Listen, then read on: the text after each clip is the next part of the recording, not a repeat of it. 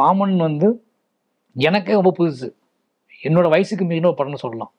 என்னோட வயசுக்குன்னா ரொம்ப சின்ன பையனான்னு கேட்குறாங்க என்னோட வயசுனா ஒரு மூணாவது படமே இவ்வளோ மெச்சூர்டான ஒரு படத்தை நான் ஹேண்டில் பண்ணுறது ஆக்டர்ஸ் மெச்சூர்டான ஆக்டர்ஸ் எல்லாருமே கதையாக ரொம்ப மெச்சூர்டான கதை. ரொம்ப கான்ட்ரவர்ஷியலான ஒரு கதை. ரொம்ப கான்டெம்பரரி ஒரு கதை. இதை வந்து அந்த அந்த பலத்தோட சினிமாட்டிக் எக்ஸ்பீரியன்ஸை தாண்டி ஒரு மெச்சூர் தேவைப்படுது.